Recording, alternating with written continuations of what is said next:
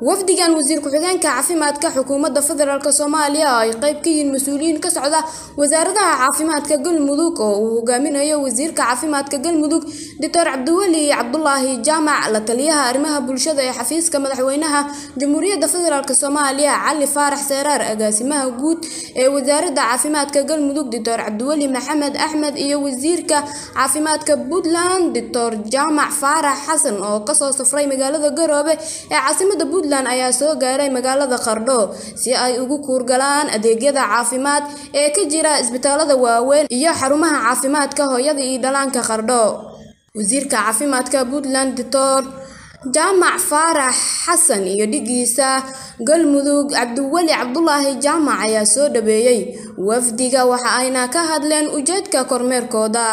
Inaanu ku soo dhoweyno tusno cusbitaalkan magaalada qardho iyo guud ahaanba magaalada qardho iyo gobolka karkaar ujeeddada safarkooduna wuxuu daaran yahay sidii ay u soo booqan lahaayeen sistamka caafimaadka ee puntland xogaha caafimaadkana loo wadaagi lahaa iyo khibradaha oo runtii muhiim u ah.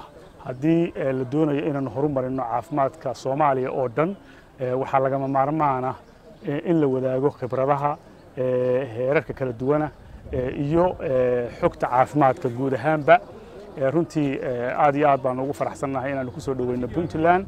Dhab ahaantii waxyaalo badan iyo khibrad badan ayaa nooga korortay maalmihii aan joognay.